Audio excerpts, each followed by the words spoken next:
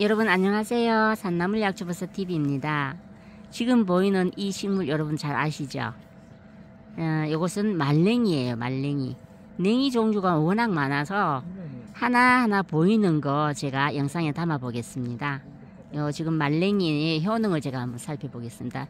이 말랭이는 성명 그리고 씨앗은 성명자 예, 효, 어, 효능을 제가 한번 살, 살펴보겠습니다.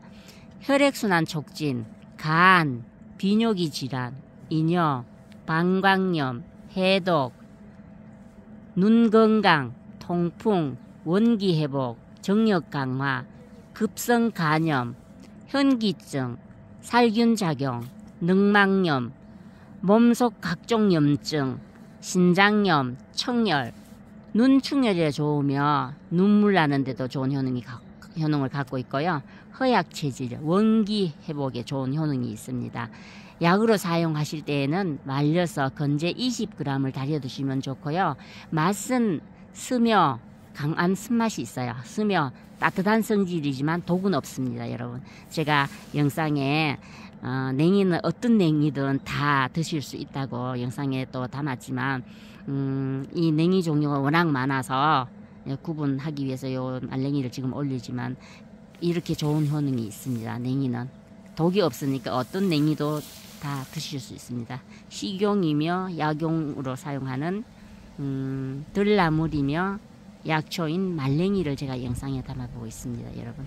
말랭이는 이거 자세히 보면은요, 제가 한번 요 만져보면 굉장히 보드라워요. 어, 보드랍고 이렇게 보면은 일반 냉이하고 잎이 좀 다르죠. 예, 여기 말랭이에요. 요 주위에 보면은 이것도 뭐 꽃자, 꽃다지도 있고 여기 또 에, 광대나무가 비슷한 큰 개불알 풀 하기도 하고 지금 이름이 바뀌어서 큰 봄 까치꽃이라는 그런 이름으로 바뀌었습니다. 이게 지금 비슷하지만 잎이 온 둥글건 요거는 꽃다지. 아저 꽃다지라 꽃말이.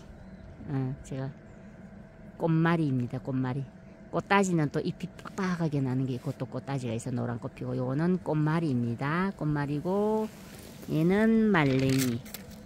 이렇게 하나가 이렇게 예쁘게 어린 순으로 이렇게 자라고 있네요 어, 워낙 따뜻하니까 지금 보드랍게 올라오는데 채취해서 나물로도 드실 수 있습니다. 네, 여러분 제가 말랭이를 영상에 담아 보았습니다. 감사합니다.